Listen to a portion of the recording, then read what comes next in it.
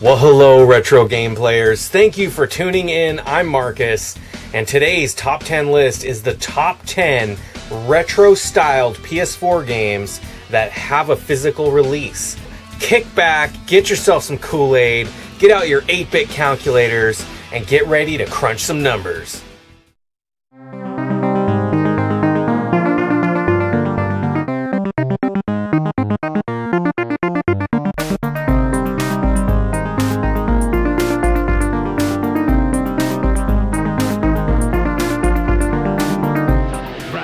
2, The Revenge for your Nintendo Entertainment System.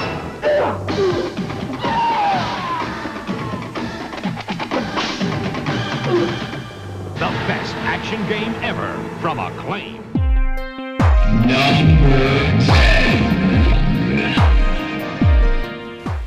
Okay, so coming in at number 10 is a game that's a follow up to a classic series. And this series is so iconic. It's one of my favorites. And I have to say, I just wish that they would have polished this game a little bit more.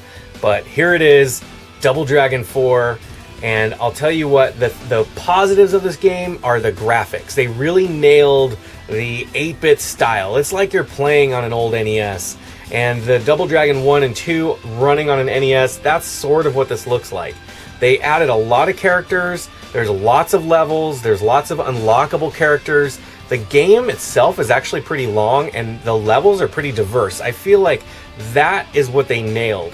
The soundtrack, the actual score, I should say, is pretty good. And then the chiptune soundtrack is what I usually turn it to, and I really dig that. So I feel like the game itself has a lot going for it, but there's a lot of like graphical issues, like screen tearing. There's no multiplayer online option, which kind of sucks.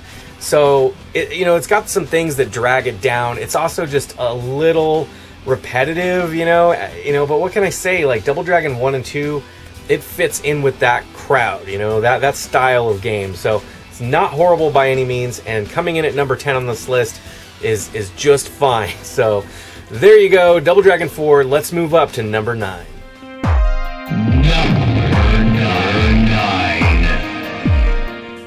All right, the number 9 game is a game that really recalls the early 80s and for me, I would say it's a perfect example of like a new game where they went really far back.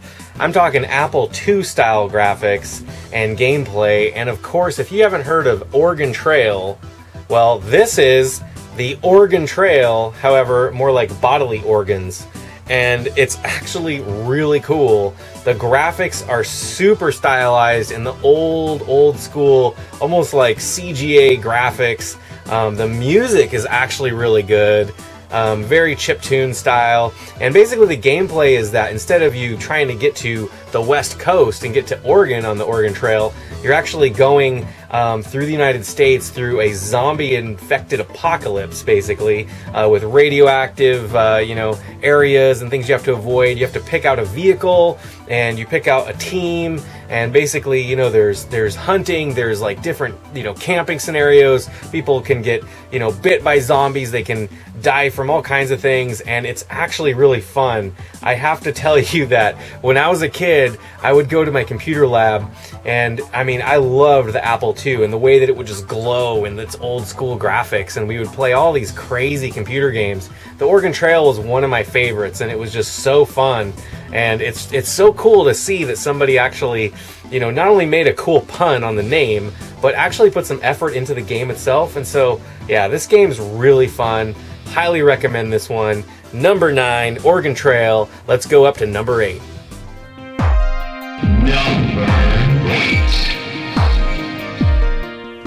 So the number eight game on this list really pays homage to a lot of the classic point and click adventure style games. Uh, specifically, the one that really rings true for me with this is Snatcher. Now, I'll tell you, I think Snatcher is uh, a much better game. Okay, so I'm to just say that right off the bat. But that's the closest comparison I can pull for this one. And this is Read Only Memories 2064. And it's actually really cool. The soundtrack's really solid. Uh, the gameplay starts off a little slow, but that's because it's building up a good story. And the story is surprisingly good. Um, I have not beat this, but I've played it for a few hours, and I gotta tell you guys, it's actually really fun. Um, if you like the old school kind of interacting on a static screen. So again, like Snatcher is perfect, but it's it's got a great sort of you know new uh, i think it takes place in san francisco like in the future and it's just got this cool futuristic vibe everything is screaming like you know 80s style but in the future and it's it's actually really well done um, also one thing i'll tell you too is normally games with voice acting kind of freak me out a little bit like especially with retro style games i don't like it when characters talk um, and this game has a lot of dialogue, but what was weird is I actually thought the dialogue and the voice acting was really good. So they actually got quite a few actors, and I was impressed with that. So um, if you're looking to just kind of chill out on the couch and like play some cool old school adventure, this one is really good. It also reminds me a little bit of the game Deja Vu. I'm not sure if you guys remember that. I know it was ported to NES, but I actually played it back on the uh, old Mac Plus, and it's a classic, you know, detective style point and click sort of adventure game. And anyway, it just really reminded me of that. Um, another one that it would be similar to is like Rise of the Dragon. Actually, that's another similar one. I think that's on uh, Sega CD.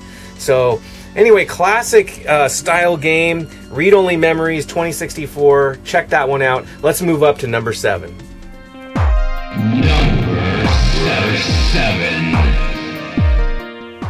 So by far, this game coming in at number seven is the most hardcore one on this list. It is extremely bloody, extremely gothic, and it has a very old school style, but it's more like, I'd say, like 32 bit, almost Symphony of the Night. That's kind of what it looks like to me. And it's Slain. Now, Slain is a really cool side scrolling action game. Uh, you know, you got a sword, you're basically battling demons. The graphics are phenomenal. The environments are phenomenal. The soundtrack is super heavy metal, like really cool. I was impressed with that. It's by the guitar player from Celtic Frost, uh, but it's jamming. It's very, very cool. And the graphics, like I said, the pixel art style is top notch. Uh, fortunately, there's checkpoints laid out in the levels because I found myself actually running to those uh, there are some platforming elements too, but once you get to the checkpoint, that's where you can kind of like take a breath, you know.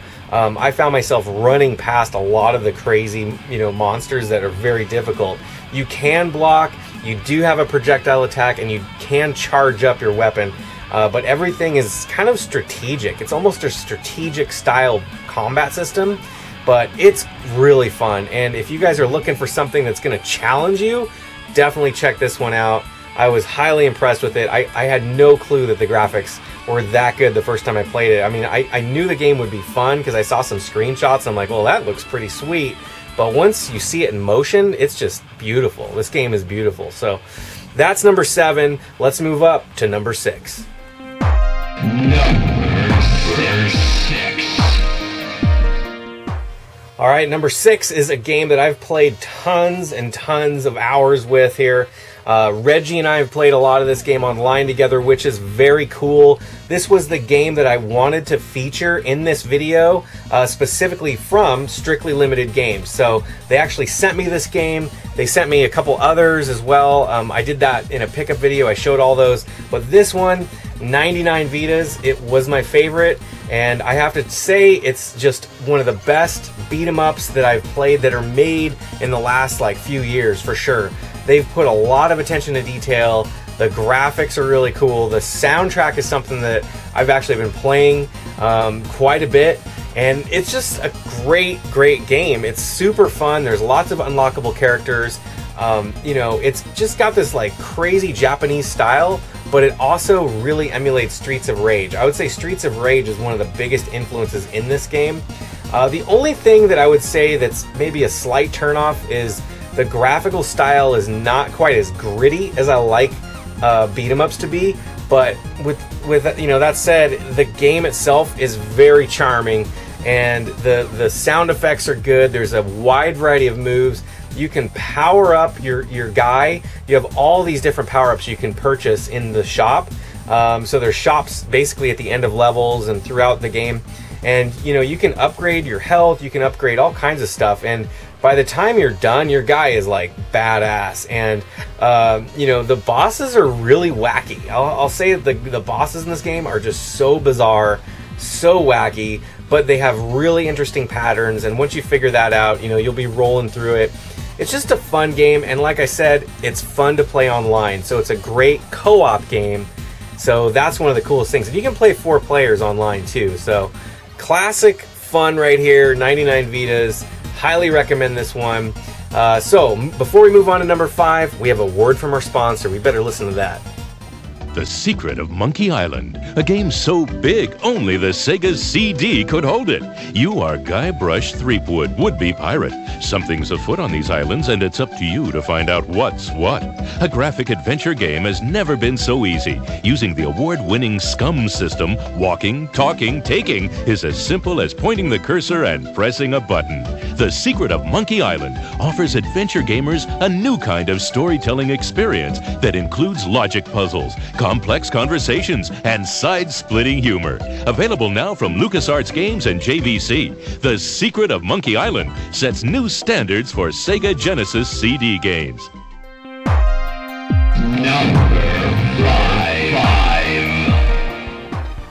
Okay, the number five game here is a game that started out very unusual. Okay, this one actually was made originally in a game jam format. So that's where the developers come together, and I think they have like a weekend to develop a game. And uh, anyway, this one was made in Flash, which is really crazy. And then after a while, they realized it was really pretty good, and they, they ended up porting it to various systems, including PC. Uh, and then this is the PS4 version, and here it is The Binding of Isaac Afterbirth. Now, this is an old school style game. In fact, they originally were trying to make it like a rogue style Zelda dungeon crawler, and it's pretty much that, you know, but there's this really dark artistic side to it which I love.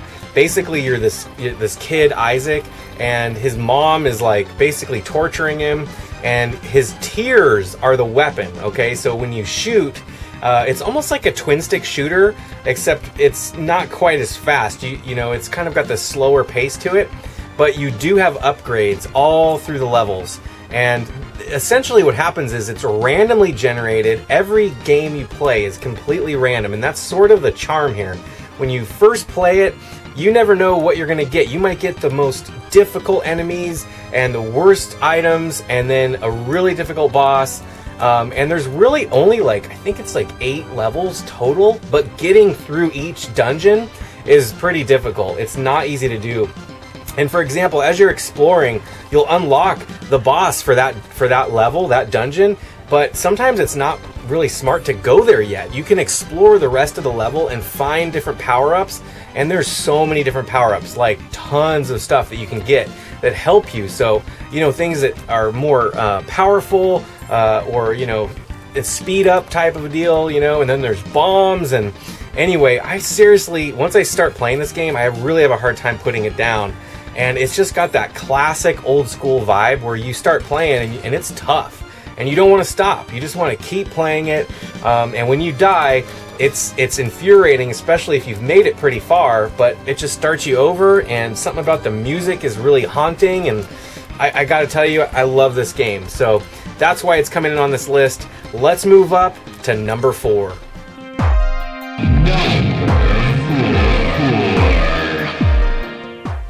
Okay, so if you're into games like Secret of Monkey Island, uh, I'd say Grim Fandango, Full Throttle, The Dig, and Maniac Mansion, you're gonna love this game. This is actually done by Ron Gilbert and Gary Winnick, and it's Thimbleweed Park. Now, Thimbleweed Park is a very good graphic point-and-click adventure style game.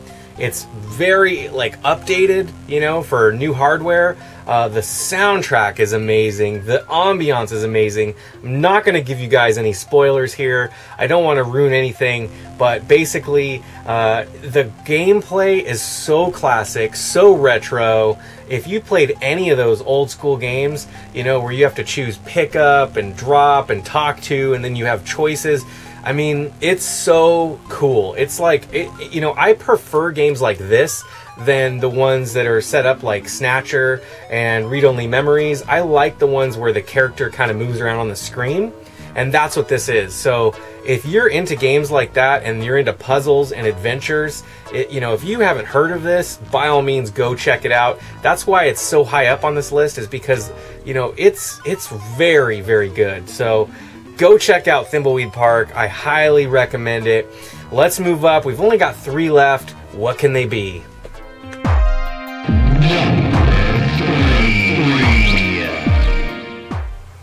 All right, we got three games left. Coming in at three, this one is a classic RPG. If you like games like Earthbound, the old school Final Fantasy series, I know you guys will like this. It's filled with humor, it's filled with uh, crazy, interesting graphics, and a very cool combat system.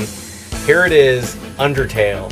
Now, if you haven't played Undertale, I'm not going to spoil a lot for you, but I will tell you that it sort of starts off um, like any other RPG and then flips it all upside down. And part of that is because the combat system is so unique and the way that uh, enemies show up and, and how you can deal with them is so different.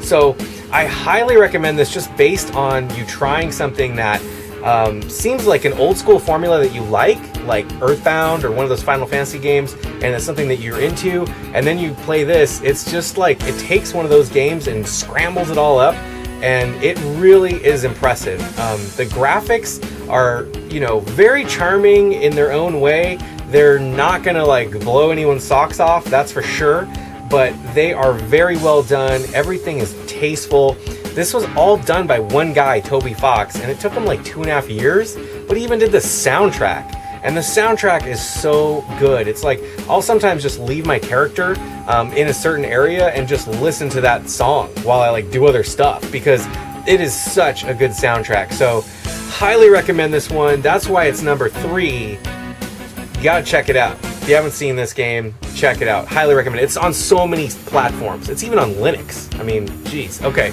Anyway, moving on, we have two games left. Let's move up to number two.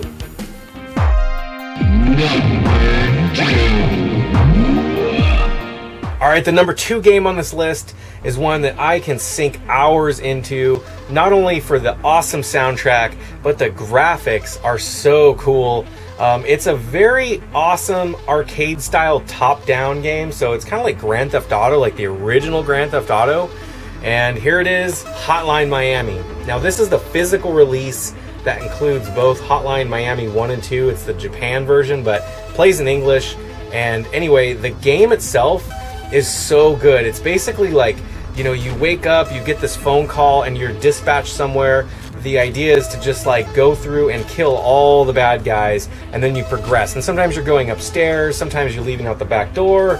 Um, you also unlock different masks, and the different masks give you different powers. Like some of them, you know, are better with guns or you know melee weapons or whatever. Uh, when you start uh, every level, basically, you have no weapons, and so you have to kind of go through and sometimes be stealthy and grab a bat or you know slowly work your way up to like a shotgun or a machine gun and then you can start taking out people and you can use the doors which is really hilarious you can open doors into people and they fall down you know, there's dogs.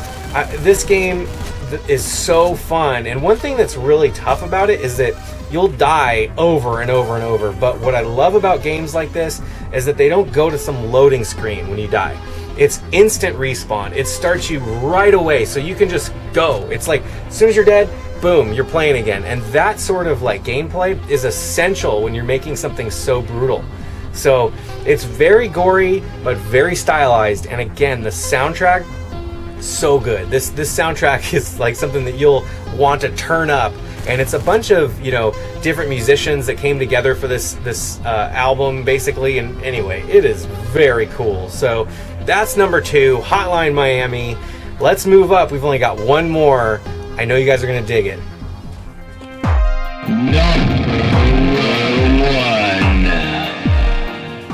All right, so that was nine very cool games. We've only got one spot remaining.